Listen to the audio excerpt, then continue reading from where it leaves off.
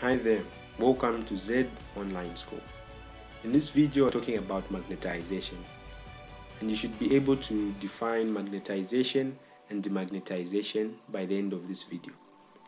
You should be able to know the methods that are used to magnetize magnetic materials, the methods used to demagnetize a permanent magnet, and at the end of this video we've got study tips that will help you handle questions and understand concepts under magnetism better. How do we define magnetization? Well, we need to understand the word from which magnetization comes, which is magnetize. Magnetize simply means to make something metal behave like a magnet. Therefore, magnetization is the process by which a magnetic material is made to have magnetic properties. These magnetic properties are properties every magnet portrays. If you want to know more about them, check our lesson or video under basics of magnetism. Demagnetization is just the opposite of magnetization, meaning instead of having properties of a magnet, that material loses properties of a magnet. Therefore, demagnetization is the process by which a magnetic material is made to lose magnetic properties. Now, how can we make something bear magnetic properties? Well, there are two kinds of ways we can do this. The first one is by stroking that particular magnetic material with a magnet or by using electricity to magnetize that material.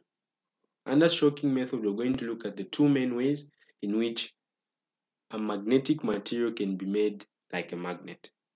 The first kind is single touch stroking. In this method, we get our magnetic material that we want to magnetize.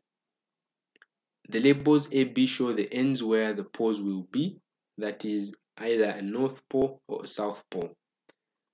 Then we get our permanent magnet, which we're going to use in this method.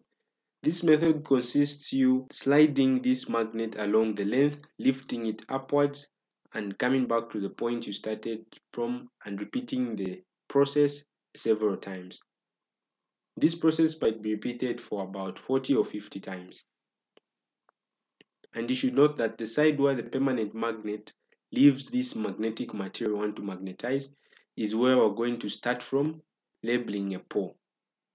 Hence, in this diagram, we're going to start from B. You should always note that the pole produced on that side where the magnet is leaving the magnetic material is opposite that pole being used. In this particular example, we're using the north pole to perform stroking and therefore on side B we're going to have a south pole. The next kind of method is double touch. In this kind of magnetization, we're going to have two magnets being used to magnetize the magnetic material. You should note that the two magnets being used will have different kinds of poles being used in stroking. The one on our left has its south pole being used in stroking, while the one on our right side has got its north pole used in stroking. You should pay attention that these magnets are being moved in opposite directions. Therefore, after several number of times, roughly around 50 times, we're going to have this magnetic material magnetized. We're going to follow the same principle in giving the poles on side A and B names. If you can see, we said the magnet on our left has got the south pole being used. Therefore, side A is going to be north pole, while side B is going to be the opposite of north. The next method is the electrical method. In this method, we use a battery which is usually a source of direct current. This is the current that can be used to magnetize a magnetic material. Another thing you should note is the core where the magnetic material is put. This core is scientifically referred to as the solenoid. Therefore, when you hear the word solenoid, just remember they're referring to the core where we put the magnetic material we want to magnetize. In this method, what magnetizes the magnetic material is the current that passes through the core, which creates a magnetic field which later affects the magnetic material. Now, we go to the methods through which we can demagnetize a material. The first kind is heating. When we talk about heating, we're just referring to getting a magnet and putting it on fire or getting a magnet and introducing heat. After we do this, the temperature of that magnet will keep rising. It should be noted that the magnet will only get demagnetized once a certain temperature known as Curie temperature is exceeded. If this temperature is not exceeded, the magnet will still remain a magnet. However, if it's exceeded, it ceases to be a magnet. Repeated hammering is also another method of demagnetizing a magnet. If you no longer want something to be a magnet, you can just hammer it a lot of times and it will stop being a magnet. The effect of also dropping a magnet is similar to repeated hammering. If a magnet is dropped several times, it might be noticed that its magnetic strength will reduce.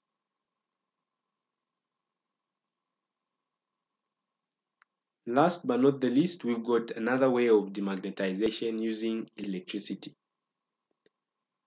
Yes, we can demagnetize and magnetize using electricity. The only difference is the type of current we use. When demagnetizing, we use alternating current.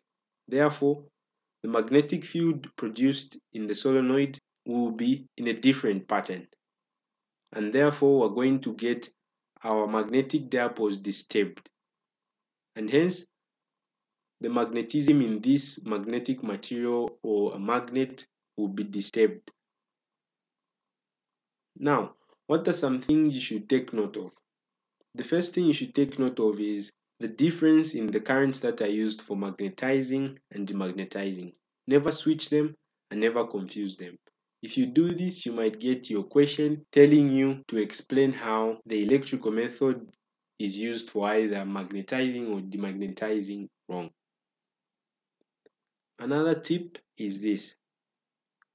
When two similar poles are used in double touch stroking, the poles produced are called consequent poles. That is, instead of you using different poles of the magnet in double touch stroking, when you use the same kind, that means the left is a south pole and the right one is also a south pole. It means the poles that you are going to produce will be the same on both ends. And because they will be the same, they are called consequent poles.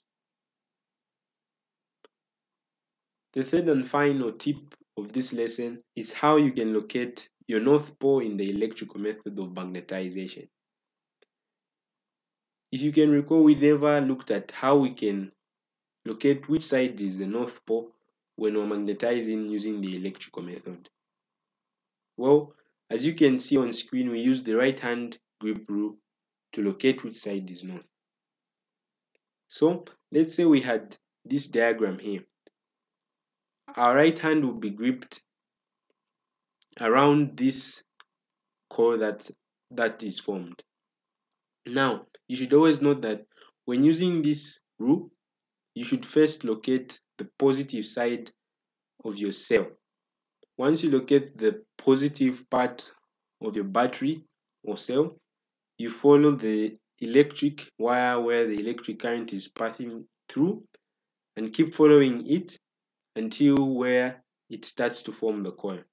When you reach this part, you follow where your core passes. If it passes behind, you pass your four fingers behind the magnetic material and wrap them around the magnetic material. Then you stretch your thumb like the picture shows, and that's the direction where the North Pole will be. In this diagram, the North Pole will be on our right side. However, if our positive terminal was on the other side, the North Pole would have been on the left side. This is because the electric cable will pass in front of the magnetic material. Thanks for watching this video till the end. If this video was helpful, consider giving it a like, subscribing to the channel if you haven't yet subscribed, and sharing the video to those people you think it might help.